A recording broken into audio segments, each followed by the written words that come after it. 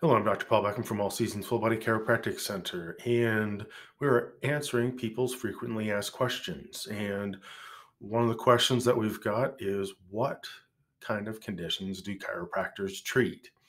And I'm going to be a little bit general on this here, but uh, we could go so much into depth. So there's basically three different areas that uh, uh, the majority of chiropractors are going to treat. We're going to treat uh, your nervous system uh, your muscles and your bones and joints, or what is called your neuromusculoskeletal system.